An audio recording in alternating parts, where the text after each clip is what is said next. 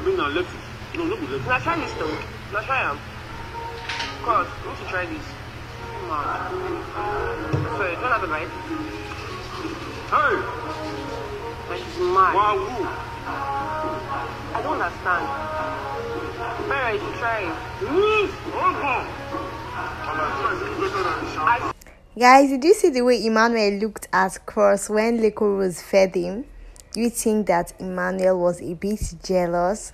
Anyway, guys, please don't forget to subscribe to my YouTube channel and turn on the post notification bell so you get notified whenever I drop a new video.